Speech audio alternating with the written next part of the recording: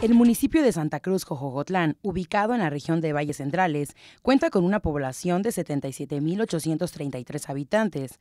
Esto de acuerdo al último censo realizado por el Instituto Nacional de Estadística y Geografía. Este municipio es uno de los más grandes del estado de Oaxaca, que con el paso de los años ha incrementado su población. En la zona se encuentran por lo menos 34 fraccionamientos. Por lo anterior, la sobrepoblación ha provocado una escasez de agua potable que afecta a más de 10.000 habitantes, denunció Jesús Elías Hernández Narváez, un ciudadano inconforme con esta situación. En una manifestación en el Palacio Municipal, habitantes de 40 colonias aseguraron que el gobierno municipal, encabezado por Héctor Santiago Aragón, no ha cumplido con el Plan Nacional de Desarrollo ni el Plan de Desarrollo Urbano, por lo cual el incremento de la población ha provocado serios problemas.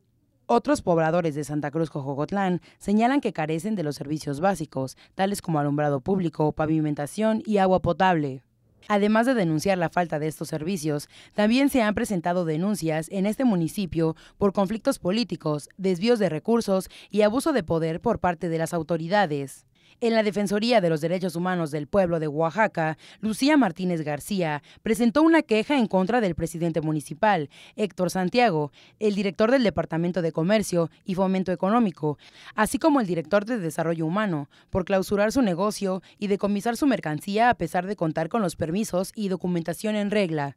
Otro habitante que también denunció abuso de autoridad por parte de elementos de la policía de este municipio fue Emigdio Santiago Paz, quien acusó a la policía de golpearlo y de robarle su cartera con un 1.700 pesos y un teléfono celular.